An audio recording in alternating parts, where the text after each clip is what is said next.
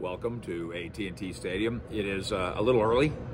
Cow- Cowboys aren't here yet. Uh, the Eagles aren't here yet, but we're here uh, representing, of course, and we will uh, bring you all the action over the course of, um, well, not in the morning because there's no action as you can see here in the morning, but once we get to uh, to uh, 325 or so, we will be all over it, and of course, leading up to that time, all over it as well. Uh, we'll be on the Cowboys official radio pregame show on the Cowboys Radio Network and on 105.3 The Fan. Uh, we'll also be uh, covering it. Of course, you can find us at social media at Fish Sports on Twitter, uh, Facebook, and elsewhere. The, the, Cowboys approaching this as if this game matters, and good for them.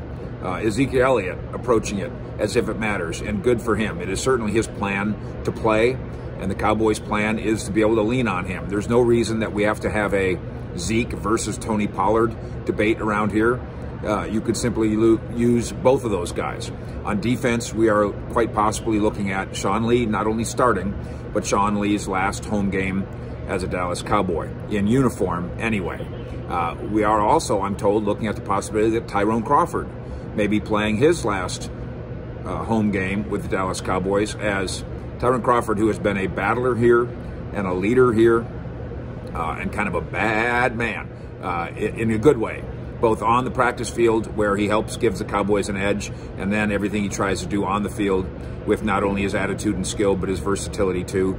That Tyrone Crawford may be looking at uh, a change of career uh, after this season is over. So things still on the line uh, as the Cowboys will monitor what else is going on in the NFL as best they can. And then Mike McCarthy saying that whatever they do in terms of monitoring, that won't change their approach. Cowboys have kind of done the KISS approach here under McCarthy. Keep it simple, stupid.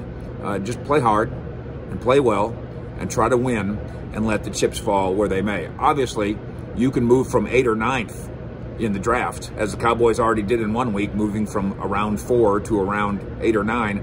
You could move all the way down to 15 or 16. Uh, we can make the argument that that's not very beneficial for what the Cowboys ultimately will be trying to accomplish. But they make the argument, kiss, keep it simple, stupid, and uh, go go try to win a football game. We will be with you all day long here at AT&T Stadium in Arlington. Fish out.